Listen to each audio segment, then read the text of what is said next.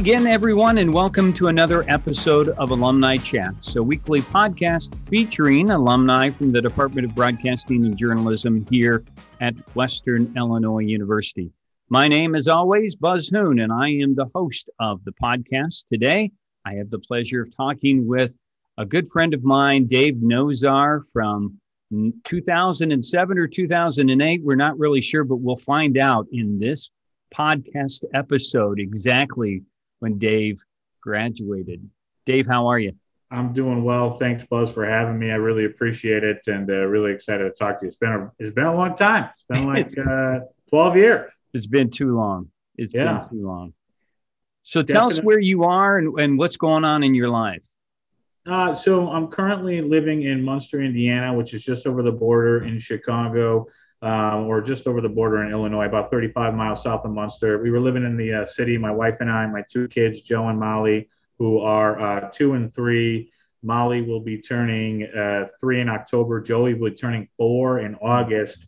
I can't believe he's already four years old. Everybody always says it goes by fast, but when you're, you know, waking up at one in the morning with the with the kid and you're in that state, you're like, this. I don't even know what you're talking about. This is this is not great.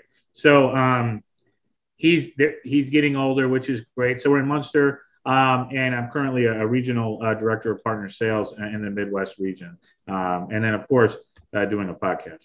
Yeah. So you're working for U.S. Signal, is that right? Is that the the company? Yeah. Yep. Correct. So we're a managed service provider out of the Midwest. Our headquarters is in Grand Rapids. Um, we supply customers with data protection.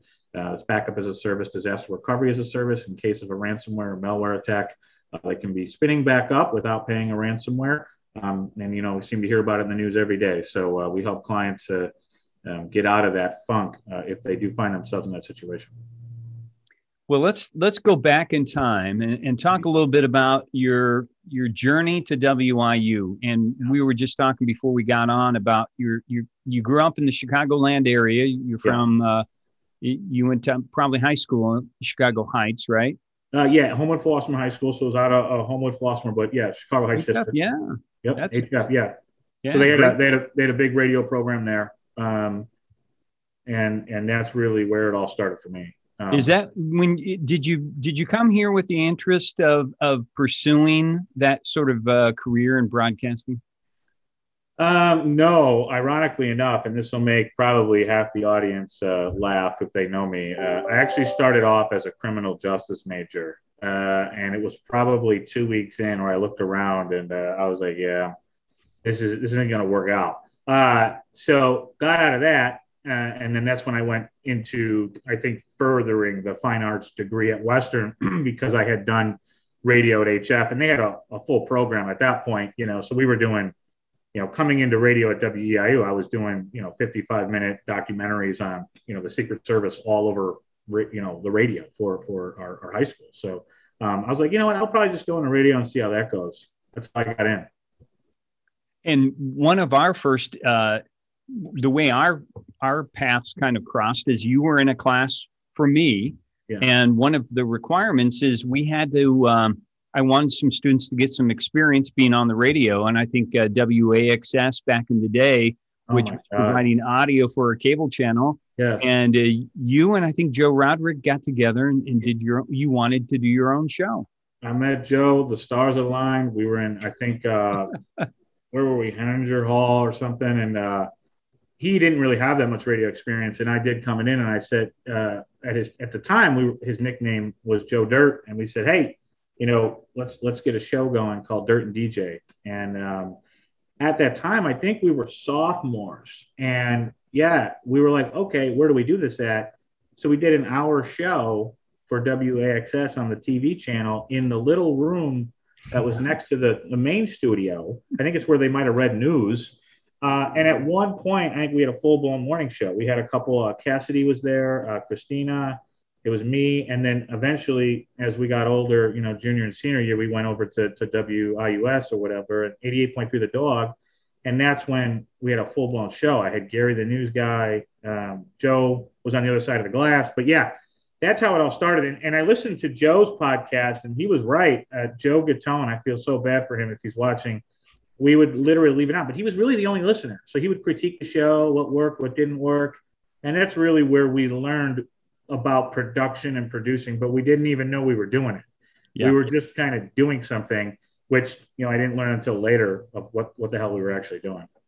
Well, one of the things that I remember too is you you gave people uh, you made your own little promotional devices as giveaways, including yeah. I still have I think a mug. This is the Dirt and DJ show. Well, yeah, Dirt and DJ in the morning. We also had a show called Stuff. Um, I remember the uh, the photo we took of that was me standing on a brick trying to match Joe's height. It was perfect. I was in moccasins. Um, and yeah, we we really tried to to emulate and get our brand out there within the Macomb scene. One of the things that we didn't do that I really regret. So anybody watching today in, in uh, you know Buzz's class, you know, I really wanted to do a live remote. I really wanted to get to a coffee shop. I really wanted to get into the you know the pace or or do a live broadcast at night when everybody was there. I think if if, if I could go back, that's one thing we would do. But uh, um, yeah, we had to make our own stuff, and we got that. We would literally staple them to.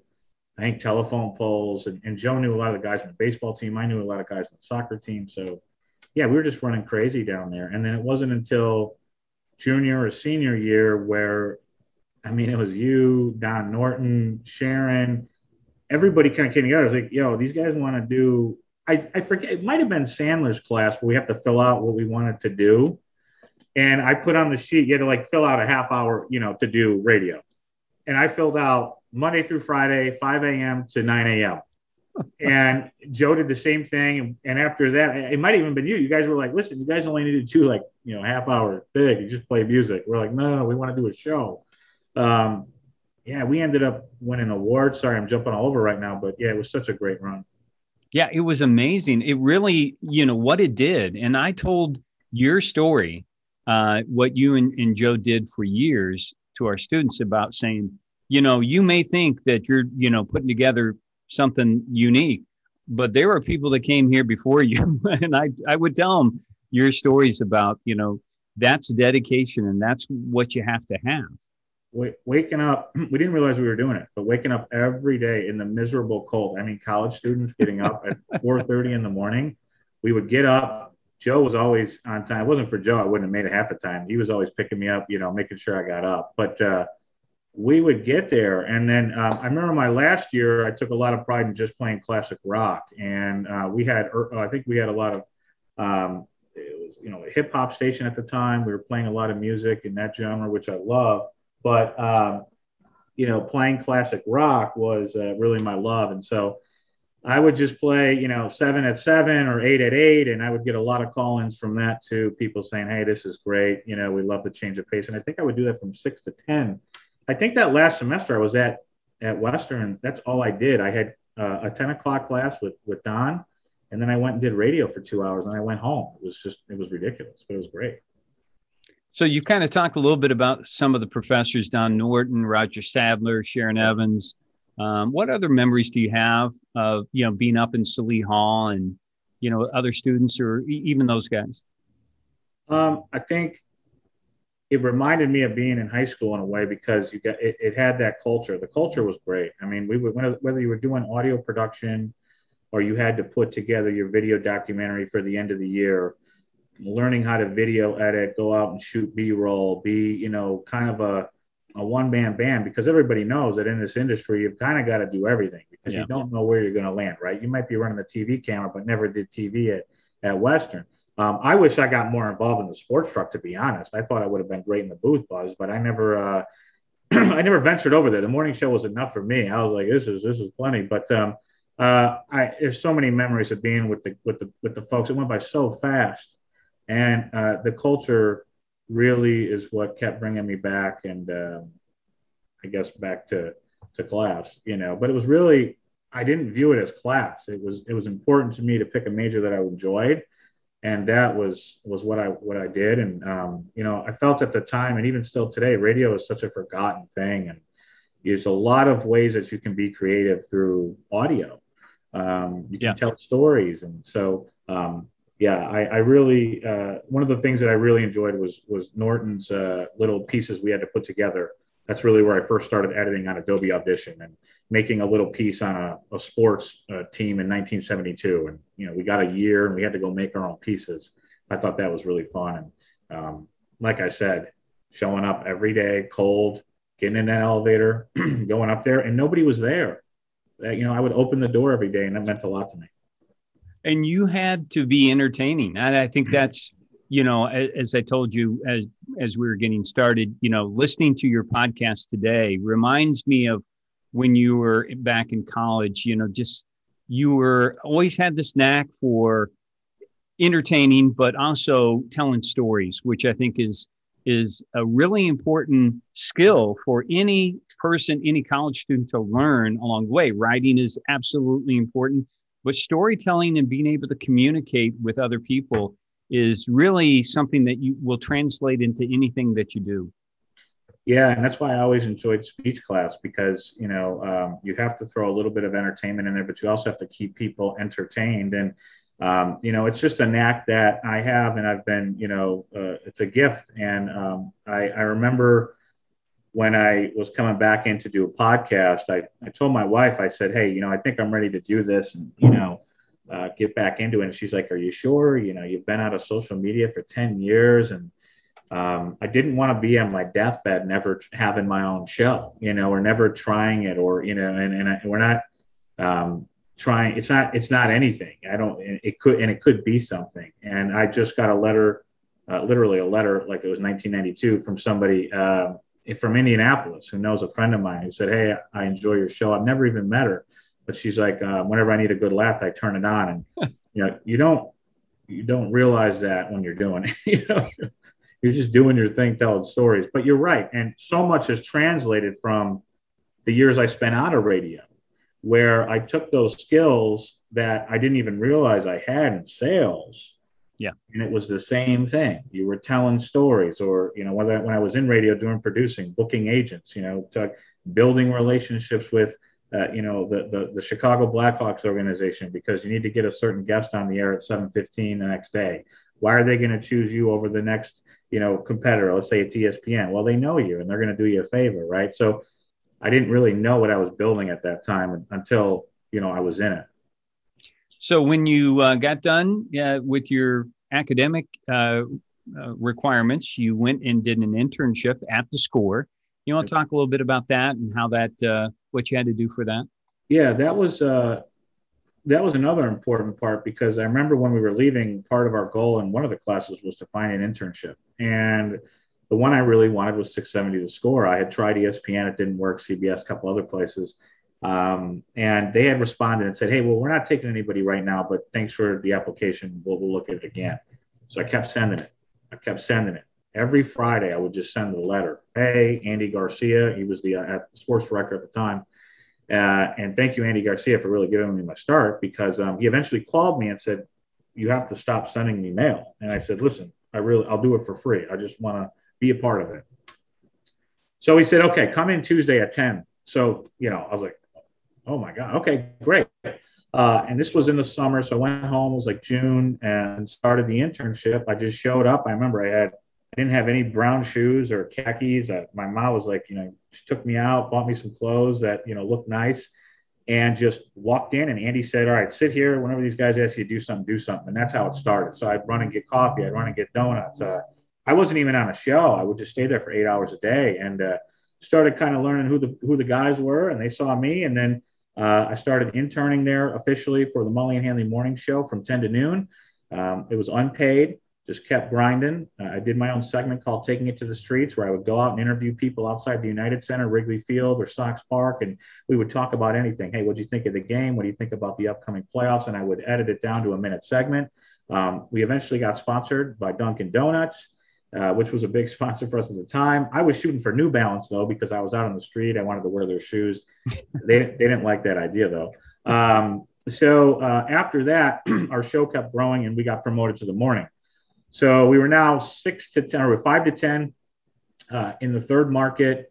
I was an associate producer. Then I finally made executive producer. And uh, there I was six years in an executive producer of a morning show for the third largest, um, you know, uh, geographic region in the United States. And uh, wow, you know, I, couldn't, I couldn't believe I made it there, you know. And then that's when, that's also when I realized this isn't what I want to do. Yeah, and as we were talking a little bit of, before we we started the podcast as well, you know, part of that is um, you know, because I I worked in radio when I first uh, got out as well, and and I was happy I got to do it. It was a very creative part of my life.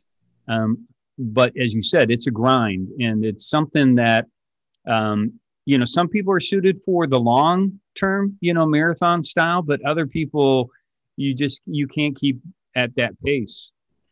No, and especially if you want a family. And I mean, because because I was there and out of it, it came down to uh, you know I was making five hundred dollars every two weeks in, in the third largest market. So you know you can't survive. I met a, a, a beautiful woman who's now my wife, and you know we kind of said, hey, you know, at what point are we going to take that next step? And um, it was about six years in uh, after the Hawks won, I think their third cup. We had covered it. I'd been there, hung out with all the players. Um, I said, I think I've done everything, and I need to to go do something else. And that's when I officially left the, the radio industry. All the Twitter accounts went dead. Instagram, you know, I basically fell off uh, the face of the earth at that time and went into my next career. So you got into sales, and yeah. uh, and you have uh, you, you you moved into a, a, second job, which is the one that you're currently in the U.S. Signal. Um, but as we've kind of talked about, uh, I see you know a lot of what you you know the skills that you uh, developed over that period of time must have worked pretty well for you in what you're doing now because you're having great success yeah and and, and on the on the event of telling stories you know i had the aha moment when i was sitting in my apartment in downtown chicago and i just had gotten off the phone in a conversation with my landlord and my roommate at the time said you know what they say because i was about nine months behind in rent i owed him about five grand and I go, she just told me that I should go into sales. And uh, I was talking to my landlord, and, and she said, You should go into sales. I said, Why? Why? Why? She's like, You've been selling me for nine months that you're going to have my rent. She goes, Dave, I need something here. And she goes, I don't even know why I'm letting you stay here. Uh, and then I went home, talked to my dad. My dad's been in sales his whole life, so it's in my blood. He's he's he's done sales for 50 plus years, still does it today. He's retired. And I said, okay, this is what I need to be doing. Um, so I went to CDW, a major uh, value-added reseller. Um, and I needed that. That was I was older too. There's a lot of people that go there right out of college, so I was five yeah. years in, so I was a little bit behind. And um, you know, uh, flourished there. It was awesome. I, I, really liked the culture there, and then needed to do something different, and then ended up being um, a, a, regional director of partner sales here. But yeah, you're right. You have to take, you know, just as you're building relationships with agents, it's the same as building relationships with CIOs or IT uh, folks. But the grind is still there. You have to be fast. You have to be quick. You have to respond. These folks have to trust you just as your listeners do, right? Because they wouldn't listen to you or watch you if you're in the entertainment field. So, um, I, I going through all of that has put me where I am today, and it's it's it's crazy that I missed it when I when I saw it. It was like there, you know what I mean, Buzz? Yeah. But I didn't even see it because my mind was so off of it that um, now the platform is here for me to do what I've always wanted to do, which was to have my own show.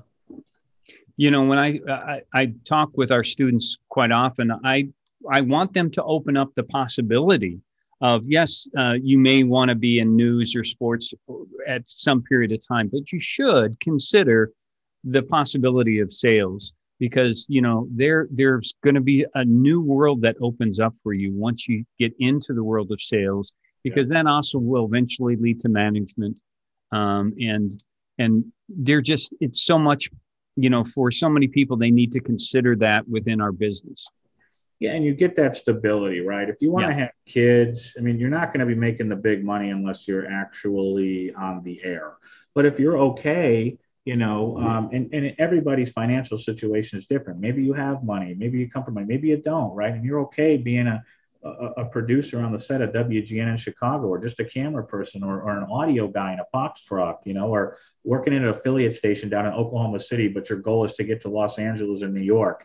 Just keep chugging away. But you're right, it's not for everybody. And you know, I think sales gets a very bad rap, right? Everybody says, "Oh, you go to sales."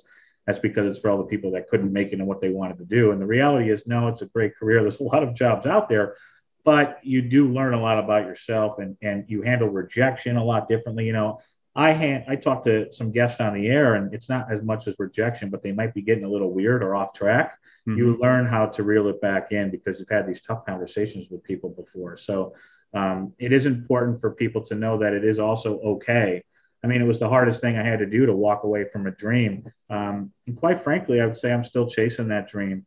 You know, I'm 36. I'll be 37 in September, um, but I feel like I'm 23. We're having a blast, and it fits the schedule. And don't even worry about it. If you have any ambitions of doing something down the road, you can. And I look at the stuff that's out there today between TikTok, Instagram, Facebook, and all the editing software. And you could do everything from your phone now. I mean, even from the time I was at uh, you know, WEIU, I mean, man, it's just it's changed so much. And like you said, yeah, I think sales should be a major at the university. Honestly. well, all, we did. I, all of our students that that were in my class had to do a podcast, one episode.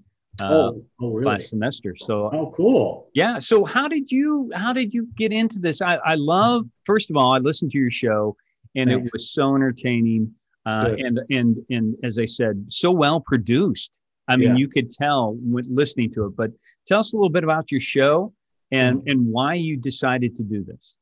So DIT podcast, Dave is talking is because uh, a I'm always talking, uh, and b we hope it's to somebody, and uh, we do have guests on the show, and most of them are people that I know, whether they're in the family or they're friends. But we get along so well that it's entertaining and it's just conversation. Um, we used to have a program called Everything is Anything because when you walk outside, everything is literally anything. You can look at the concrete that's cracked. Uh, you can look at each blade of grass down to the dirt, or maybe even the fertilizer buzz that's still sitting there from last week, right? That nitrogen hasn't set in yet because the rain hasn't hit it. There's so much going on around us each and every day. From being home from the pandemic and COVID, I've noticed so much about my neighbors or the, the fence. And it's like, how was I even able to leave the house for eight hours a day? I'm managing and running a whole operation here. I'm like operations manager. So we take kind of a Seinfeld approach, Larry David, you know, not to the extreme, but I mean, you know, it's what kind of rake do you like to use? A, metal rake or a plastic rake? Why do you like the plastic rake? The metal rake might you know, get some leaves on it. You might not like that. So it's really whatever's going on. And I tell stories about, um, you know, my life. And we have some of our family members on over and over again so our fans can listen to them and get a rapport. And, you know, we like to build drama, but the show uh, is really, um, we, we don't even know what it's about. It's just, it, it's the main premise is if you need to get away, you know, turn us on and, and maybe get a get a get a good uh, laugh. But there's two types. There's the rants that I do that are usually 30 minutes, and then every Friday we try and have a guest on the show, somebody that I know who's interested in cigars or cars. And to be quite honest, Buzz, one of the, the main reasons we did it was I wanted to interview everyday people who work eight to five, nine to five jobs, but also have, let's not call it a side hustle, but are very, uh, you know, they're all about whatever they're doing. It could be, you know, knitting blankets and selling them, making sure. candles, doing honey. And I wanted to interview them to not only talk about what they normally do, but whatever their hobby was or whatever their side project was. And in doing so, I realized that I was doing my side hustle too, which is podcasting.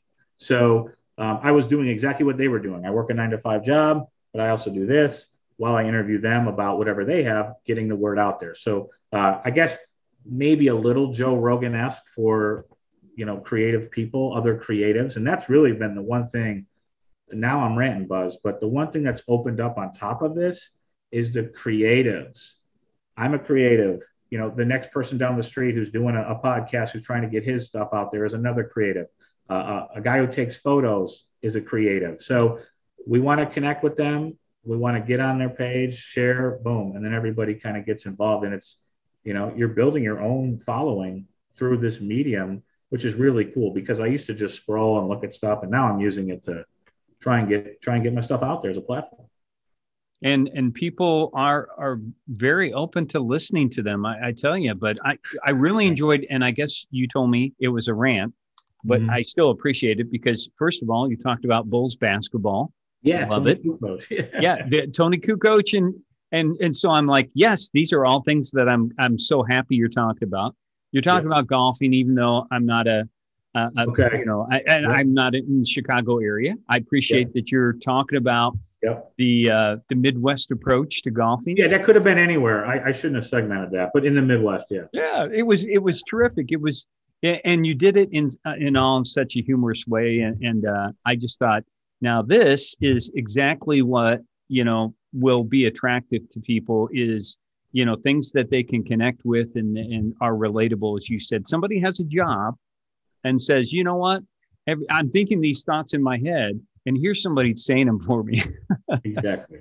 Exactly. Yeah. And, and very fortunate to do it. And i think the one way i'm able to do it is because i do have that skill of production like you touched on. Um, and not tooting the horn but a lot of people have noticed that they're like you know who who, who produces these and, and we do i do it all um, um, and I just love to do it. And you know, yeah, you got a knack for it. So I almost feel like some of the conversations I have with my family are too good to be true, and I'm like, other people need to hear this, so let's get it out there. You know? and you're doing it right there. It, now, we this is your studio, but yes. it's also your garage, right?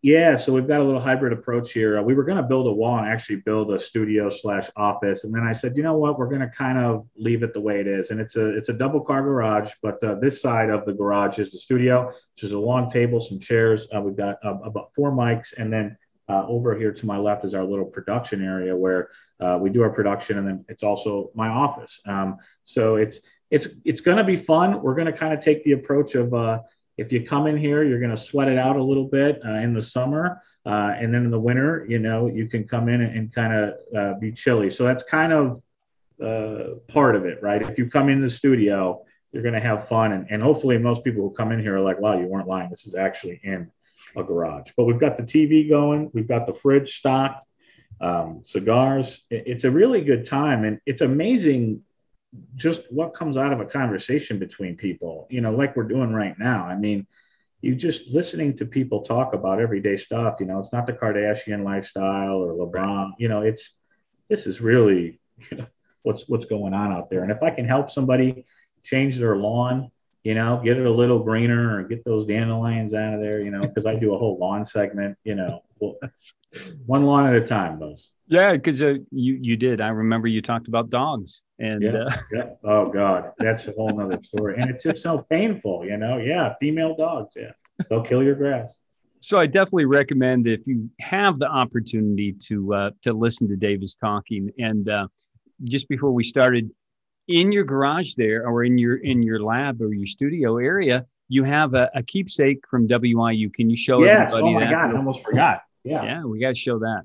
And you know what's funny is not even a lot of people talk about this, but I need to prove to everybody that I actually graduated. They don't even believe it. so this is the this is the um, the the the degree, and then there is Sharon and me um, when I was just graduating. Um, you know, I mean, yeah, pretty hungover that day, but it was a great day. that was a great day. And yeah, I framed, awesome. I framed it and I got it up here and yeah, I don't even know if people notice it's there. It's weird, but I love it. I love, and I love sharing. You know, every time I look at it, I'll end on this. The same way I got into the score was the same way I got on WI in, into WIU. I, I, wasn't accepted the first time. I had to write a letter. Um, I had to get on academics, and um, you know, one of the things I told everybody was there. You know, I, I literally wrote in the letter, "Let's not base this on grades right now. Like, I, will figure it out. Let me get in." And, and it was it was letter after letter after letter, and then I finally got in. So that whole thing is kind of um, you know brought me along the life track and it's just it's just you got to keep grinding. And you know i'm probably not even putting out as much content today but like you know i got another job to do so. Well i tell you we we were fortunate to have you and i'm i'm just going to say that you added to um, to what made this place eh, special in that period of time.